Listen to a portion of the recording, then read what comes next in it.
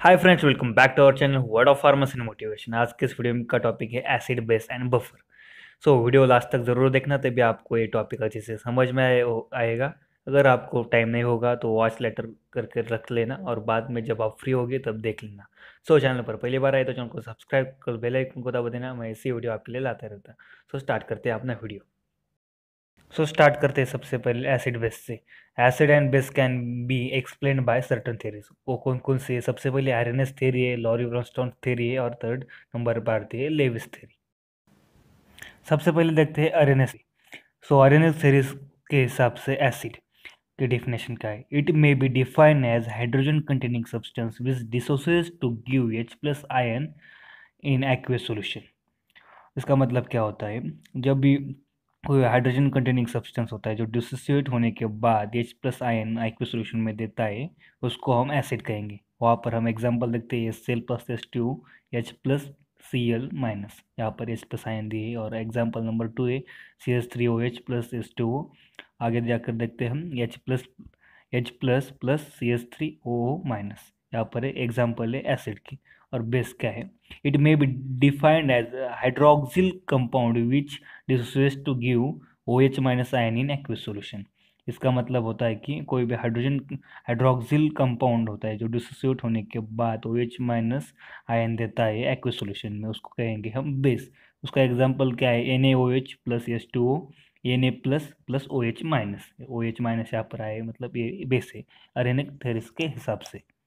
अब देखते हैं अरेनिक थेरी के लिमिटेशन क्या है? तो सबसे पहला है aqueous it define only in their aqueous solution and not in non aqueous solvent और गैस स्टेट और दूसरा क्या है? Non hydroxyl according to Arrhenius theory base is a hydroxyl compound like N S three N A however some non-hydroxyl compound like NH3, Na2, CO3, KCN, CS3, CO, Na, RNS theory fails to explain basic nature of such hydroxyl compounds.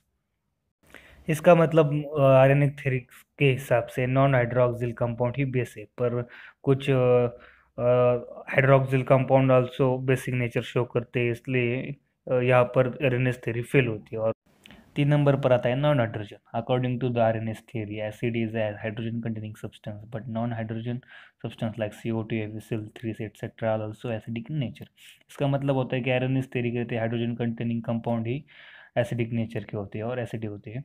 But some या आ, कुछ ऐसे भी example है कि जो hydrogen non hydrogen ने पर वो भी यहाँ पर एसिडिक नेचर दिखाती है वह इसलिए यहाँ पर भी आर थ्री फेल होती फोर्थ नंबर पर है according to Arrhenius theory H plus ions exist in aqueous solution which is not true because H plus ion are always hydrated that's why combination with H2O molecule introduce hydrogen ions.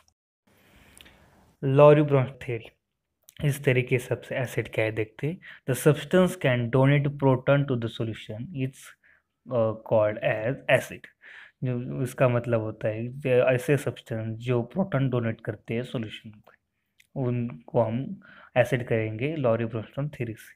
यहाँ पर कुछ example भी आप देख सकते हैं। अब देखते हैं बेस क्या है।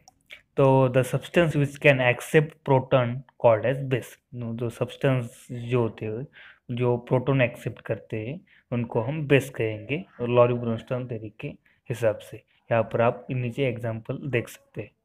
अब देखते हैं Lewis theory acid the substance which can accept the lone pair of electron उसको हम कहेंगे एसिड सब, जो भी substance lone pair of electron को एक्सेप्ट करेंगे, उनको हम लेविस तरीके से एसिड कहेंगे। Example S C L is to support और बेस क्या है?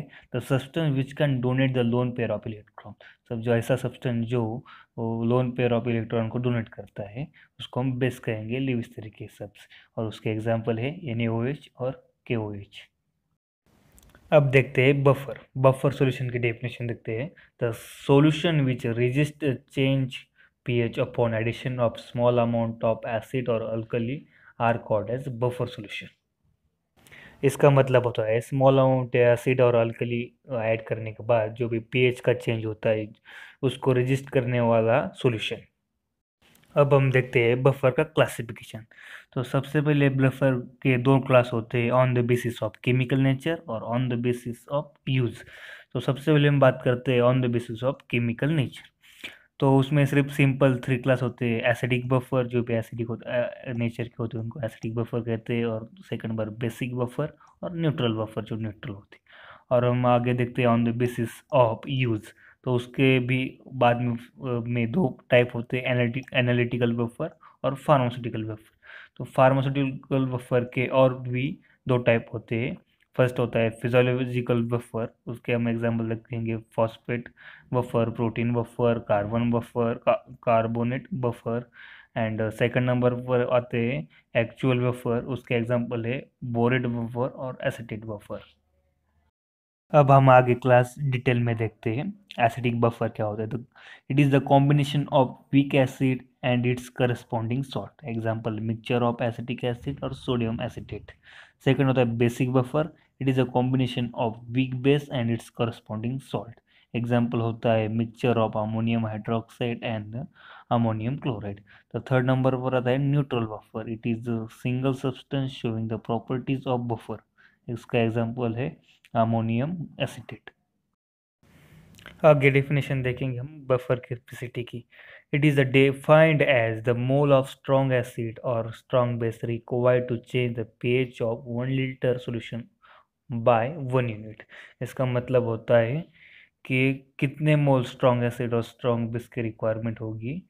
ये वन लीटर सॉल्यूशन का पीएच चेंज करने में by one unit properties of buffer the pH of buffer solution is constant उसका पीएच हमेशा कांस्टेंट होना चाहिए, कभी भी फ्लक्चुएटिंग नहीं होना होना चाहिए। सेकंड है the pH of buffer does not change on dilution dilution करने के बाद बफर का पेज कभी भी चेंज नहीं होना चाहिए। थर्ड नंबर पर है, the pH does not change even after addition of small quantity of acid और बेस। कि पेज कभी भी एसिड और बेस स्मॉल क्वांटिटी में ऐड करने के बाद भी कभी चेंज नहीं होना चाहिए। ये प्रॉपर्टीज़ है बफर की। So, factors considered for selection of buffer. तो दो टाइप में डिवाइड हुए हैं।